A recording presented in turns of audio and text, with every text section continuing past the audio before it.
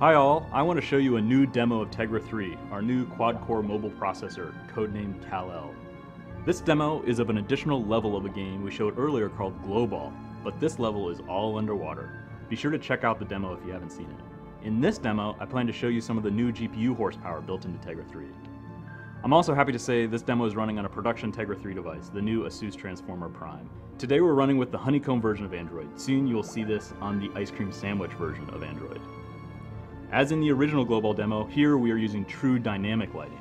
With the performance of Tegra 3, this is the first time this is really feasible on a mobile device.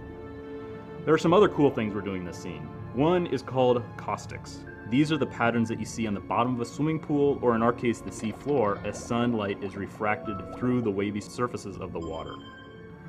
The other technique is the use of fog to simulate murkiness, you'll note that objects distant from our eye seem to disappear into a dark blue murkiness. This is simulated by adding a blue fog to all of the objects as they're drawn. The further they are from the eye, the more they're in the fog. Now let me show you what this would look like on earlier mobile devices. We have a cool split screen mode. In this mode you can see it's just not as immersive or realistic as a Tegra 3 version. You don't have lighting, particles, you don't have the glow. All these dynamic lighting techniques bring more life, realism, and a sense of interactivity to the environment.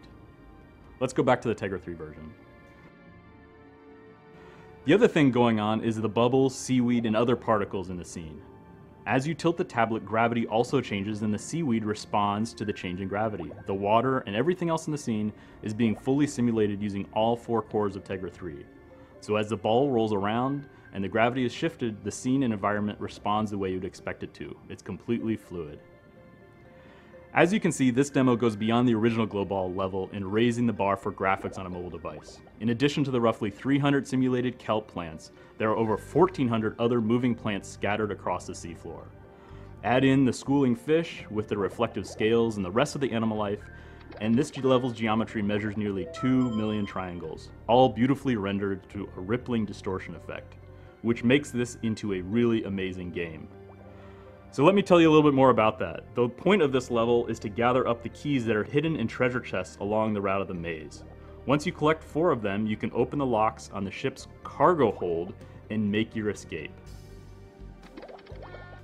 Here is a key that you just see there, and you would collect that and move on to the cargo hold. Owners of Tegra 3 devices will be able to download the game from the Android market, and in several cases the game will come pre-installed on the device.